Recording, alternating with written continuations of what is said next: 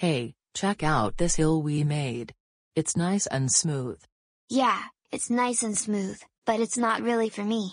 Felisa's got a hill that's nice and smooth for her side, I need a different type of hill that's the opposite of smooth. Ooh, a hill that's the opposite of smooth. Alright, well what's the opposite of smooth? Rough. Bumpy. Bumpy, right. Do you want a bumpy hill? Yeah, that's perfect. Now that's much better. Why do you think he wants a bumpy hill? Because bumpy hills are perfect for sledding.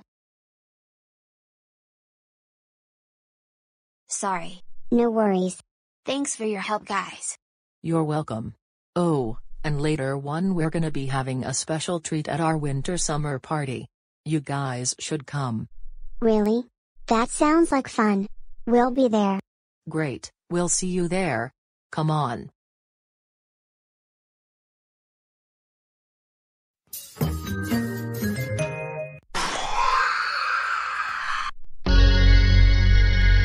We're back. Come on, we've got one more clue to find. Huh? Hey, who left this bowl of ice cream here? A clue, a clue! Huh? A clue left this here. No, a clue right there! Oh, look at this. This ice cream is our last gold clue to what kind of special treat we should have. We need our handy dandy Notebook! right.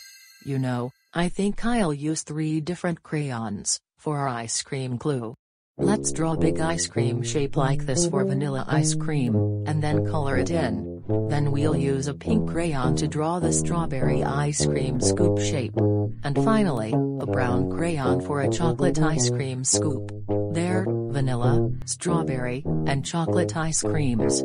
Hey, we have all three clues to figure out what kind of special treat we should have for our winter summer party. We're ready to sit in our golden Thinking chair!